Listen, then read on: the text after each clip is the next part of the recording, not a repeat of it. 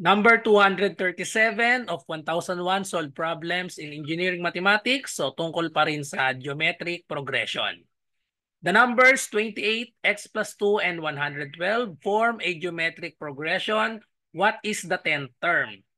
14,336, 13,463, 16,433, or 16,344. Okay, so post nyo muna and try sagutan bago panoodin ang aking solution.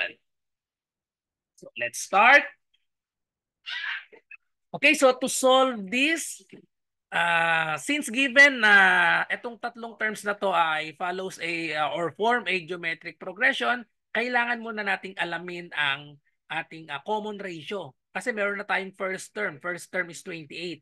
So kailangan na lang natin alamin ang common ratio. Bago malaman ang common ratio, kailangan isolve muna natin itong uh, value ng x and then find the value of r. Okay? So, ang hinahanap natin ay 10th term. So, ang formula sa 10th term ng geometric progression or general uh, formula muna tayo for geometric progression, a sub n is equal to a sub 1 times r to the n minus 1. So, 10th term ang hinahanap natin. So, therefore, we have a sub 10 is equal to a sub 1 times r to the 10 minus 1. So, r to the 9th power. So, meron na tayong given na a sub 1. Ang a sub 1 natin, first term is 28. Okay? So, kailangan na lang natin alamin ang isolve natin itong value ng r. Para masolve yung value ng r, gagamitin natin yung uh, sa definition ng uh, geometric progression, meron itong common uh, common ratio. Ibig sabihin, minumultiply natin itong uh, 28 sa constant na number para maging x plus 2 tapos x plus 2 times constant number magiging 112. Or in short para masolve natin ang r ay i-divide natin itong a sub 3 112 di-divide natin dito sa previous. So that is x plus 2. Tapos equal din yan sa since common nga yung ratio itong a sub 2 natin x plus 2 i-divide naman natin sa previous which is a sub 1 28. Okay? So ngayon, isolve, pwede na nating masolve ang value nitong x. So bali wala, tanggalin na natin itong r dahil parehas naman itong r. So yan, solve for x, so just cross multiply. So i-cross multiply lang natin ito. Unahin na natin itong parehas na x plus 2. Dahil parehas x plus 2, so magiging na siyang x plus 2 squared equals, multiply natin ito, so we have 112 times 28. Okay, so just solve for x. So, pwedeng i-calculator muna natin ito.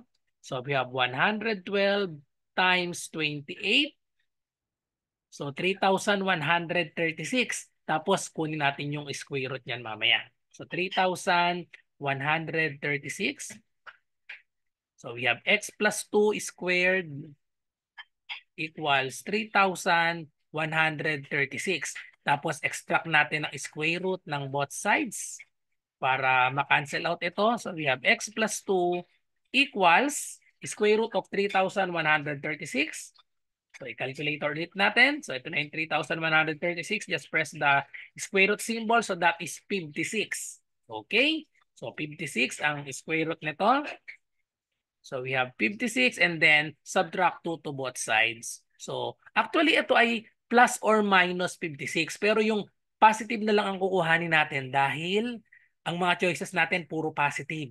Okay? So, ayan. So, therefore, ang value ng x ay equal sa 56 minus 2. That is equal to 54. So, ngayon, kung uh, ang, ang value ng x ay 54, pwede na nating masolve itong second term natin. So, a sub 1 is 28. Ang second term natin ay ang x daw ay 54. So 54 plus 2, second term natin ay 56. So kung a sub 1 ay 28, a sub 2 ay 56. So madali nang makuha yung r natin. So i-divide lang natin. 56 divided by yung previous 28. The common ratio is 56 over 28. That is equal to 2. Okay? So ngayon, masolve na natin ang a sub 10 natin. Substitute lang natin yung mga given. a sub 1 is 28. The common ratio is 2. So erase natin to the 9th power. So okay, so gamitan na ulit natin ng calculator ito. So therefore, we have yung 2 to the 9th muna unahin natin. 2 Yan, press natin itong exponent. Yan, xy 2 to the 9 power. Press ko muna itong equal sign. So that is 512 and then i-multiply ko dito sa 28. So times 28. So therefore, the answer will be 14,336 which is 14,336 letter A. Okay? Therefore, the answer is 14,336 letter A.